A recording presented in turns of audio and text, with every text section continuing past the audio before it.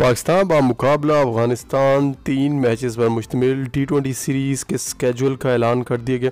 आप जानते हैं कि इससे पहले तीन ओडियाई मैचेस खेले जाने थे। क्या आप एक्साइटेड हैं सीरीज़ के लिए? क्योंकि इंडिया के बाद या इंडिया के करीब करीब या इंडिया से भी ज़्यादा अब इस सीरीज़ को देखा जाने वाला है। क्योंकि पिछले चार पाँच सालों के अंदर पाकिस्तानी प्लेयर्स और अफगानी प्लेयर्स के अंदर दरमियान बहुत ज़्यादा लड़ाई हुई और कहीं ना कहीं दोनों टीम के प्लेयर्स के अंदर गम गुस्सा है और कहीं ना कहीं अफ़गानी खिलाड़ियों ने पाकिस्तानी खिलाड़ियों के बारे में कुछ अच्छे अल्फाज यूज़ नहीं किए और पाकिस्तानी खिलाड़ियों को भी गुस्सा है। देखिए इंडिया के साथ कहीं ना कहीं आप बेहतर प्लेयर्स आपस में कम्युनिकेट करते हैं, बेहतर फील करते हैं एक दूसरे के साथ, पर अफ़गानिस्तान के साथ वो वाला सीन नहीं है, क्योंकि अफ़गानी खिलाड़ियों ने पाकिस्तानी खिलाड़ियों की वो इज़्ज़त नहीं की जो करनी चाहिए थी क्योंकि हमारे ग्राउंड्स के अंदर ये बड़े हुए हैं यहीं पे सीखा है इन्होंने। इसके बावजूद इन्होंने पाकिस्तानी खिलाड़ियों के साथ अच्छा रवैया नहीं रखा।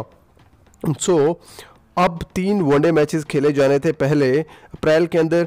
अब 19 मार्च को फाइनल है पीएसएल का यानी नाइनटीन मार्च को फाइनल है पीएसएल का और तकरीबन लास्ट वीक के अंदर यानी आखिरी पाँच छः दिन 25 मार्च के करीब करीब इस सीरीज़ का आगाज़ होगा और तीन मैचेस खेले जाएँगे। आ, ये तकरीबन यूई के अंदर कोशिश की जाएगी या शायद पाकिस्तान के अंदर भी हो सकते हैं। लास्ट मोमेंट पे पर 25 मार्च के करीब होंगे।